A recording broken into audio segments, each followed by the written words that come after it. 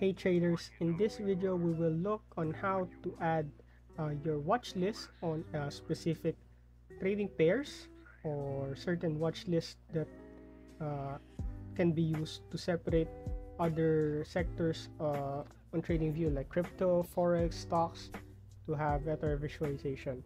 So let's get started.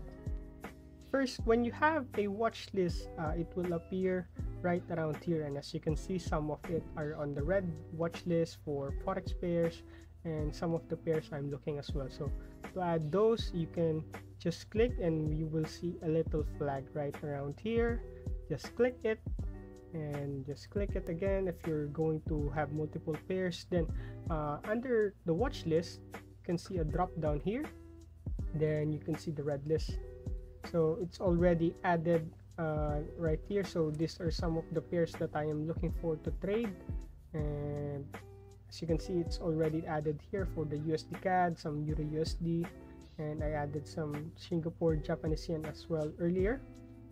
Uh, so this is how you put a specific list on your watch list on TradingView and I'll see you on the next video